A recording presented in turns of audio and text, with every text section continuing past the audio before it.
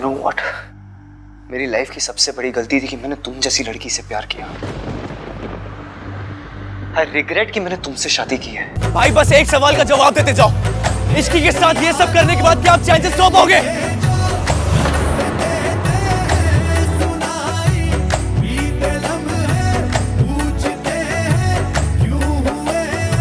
कहा हो इश्क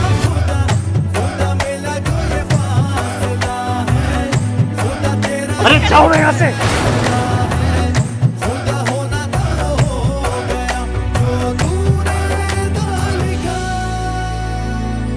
काली काली खाली रातों से तुम्हें याद करना तो मेरी किस्मत है।